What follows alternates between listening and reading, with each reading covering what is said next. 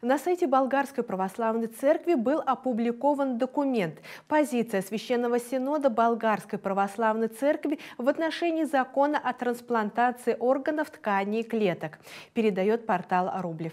Он появился в ходе широкого резонанса, который вызвал закон о трансплантации, принятый правительством Болгарии еще в декабре 2018 года.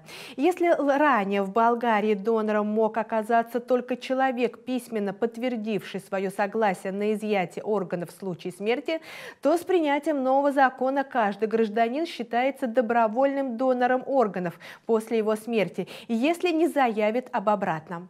Церковь полностью осознает возможности, которые открывает трансплантация, и огромный долг церкви перед обществом, медициной и потенциальными донорами. В этом случае церковь желает помочь больным, но призывает не забывать об уважении доноров и о том, что не стоит недооценивать его роль, говорится в сообщении.